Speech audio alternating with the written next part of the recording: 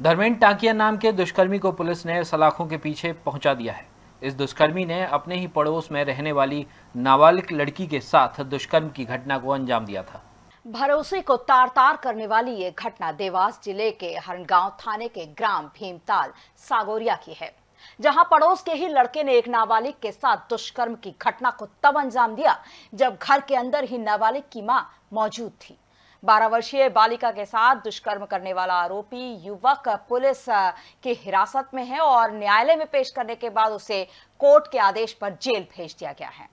हरगांव थाना प्रभारी शुभम परिहार ने बताया कि 26 अगस्त 2024 के रात करीब 9 बजे बालिका अपने घर के गाँव भीमताल सागोरिया के आँगन में बैठकर बर्तन धो रही थी और बालिका की माँ घर के अंदर खाना बना रही थी। तभी पड़ोस के रहने वाला लड़का धर्मेंद्र टाकिया आया और बालिका का मुँह दबाकर उसके साथ ज़बरदस्ती गलत काम करने लगा। बालिका के चिल्लाने पर उसकी माँ दौड़कर बाहर आई। माँ को आता देखकर आरोपी धर्मेंद्र बालिका को छोड़कर भाग निकला।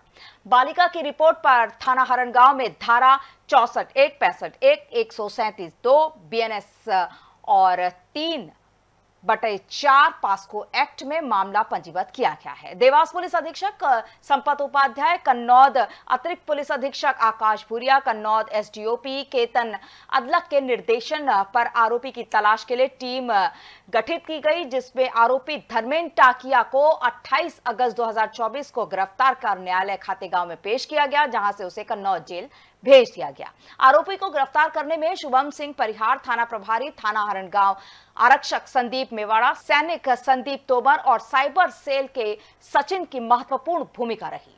26 अगस्त की बात है। जी। रात को करीब 9 बजे एक भीमताल सगोनिया गाँव में जी। एक पड़ोसी था एक बालिका थी। जी। तो बालिका अपने घर के बाहर बर्तन धो रही थी। जी। तभी वहाँ का एक व्यक्ति आया उसके गाँव का एक पड़ोसी।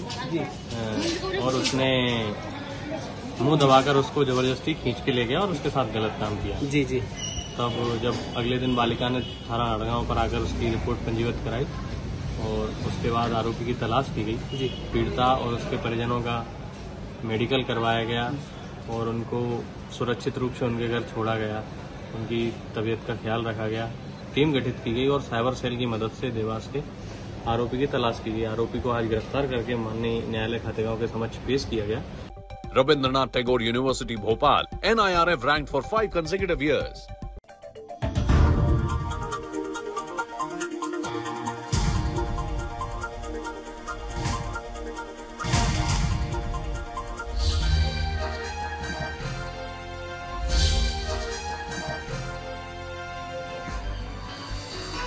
आप देख रहे हैं दखल न्यूज़।